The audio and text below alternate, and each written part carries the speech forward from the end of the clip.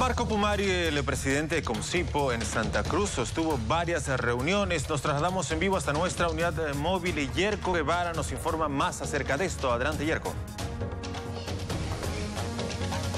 Muy buenas noches, nos encontramos en este momento nosotros en un hotel de la zona norte de la ciudad de Santa Cruz.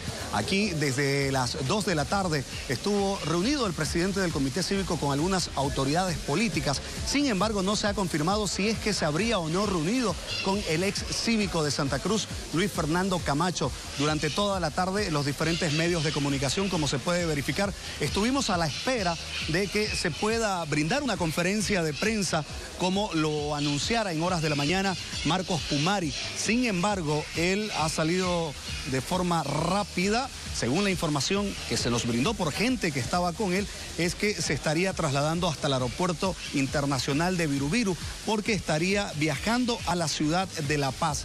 Nosotros eh, ya con esta información eh, que todavía no hemos podido corroborar si es que habría una reunión con el ex cívico de Santa Cruz, Luis Fernando Camacho, y el cívico de Potosí, Marcos Pumari, retornamos hasta estudios.